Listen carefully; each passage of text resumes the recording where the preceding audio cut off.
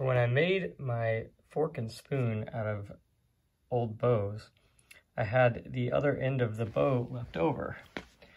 So I realized they're shaped kind of like a recurve bow.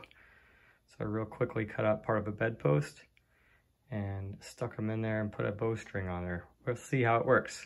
We'll go back further.